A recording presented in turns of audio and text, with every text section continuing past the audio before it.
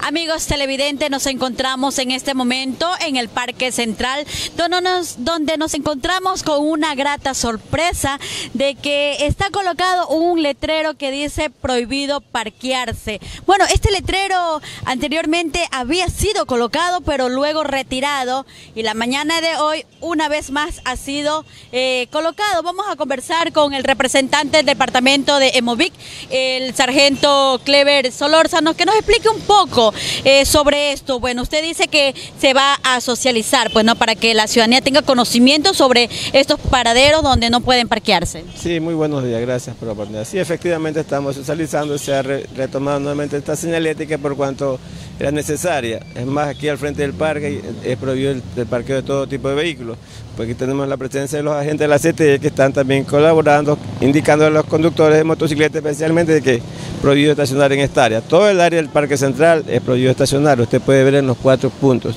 que tenemos esa señalética. Y nos faltaba solamente aquí porque se la había retirado por, se parece que la, viraron, la quebraron, entonces nuevamente ya retomamos para que la ciudadanía de todas maneras es necesario orientarla, porque de pronto ven y van a decir, me citaron, entonces aquí está la gente para que le indique la ciudadanía que, que conduce motocicletas y vehículos, autos, camionetas de que no se puede estacionar.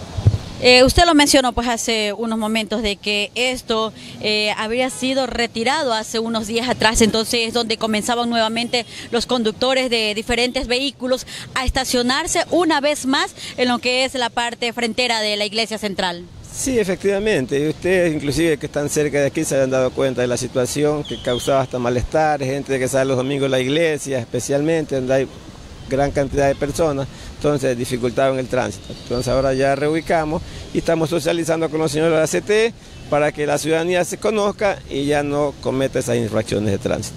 ¿Hay otro punto de, nuestro cantón que se haya colocado estos, estos letreros donde no pueden parquearse las personas?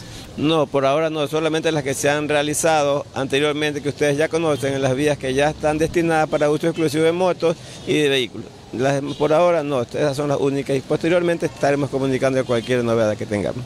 Agradecemos la intervención del sargento Clever Solórzano, quien es representante del departamento de Emovic. Esta es la, señalética pues, que se encuentra en estos momentos. Todas las personas pues, que estaban acostumbrados a hacer su parqueo, lo que era aquí en el Parque Central, frente a la iglesia, ya no podrá hacerlo. Tendrá que buscar otras eh, calles donde sí se permite lo que es el parqueo. Desde aquí del Parque Central informó para ustedes Karina Sarabia.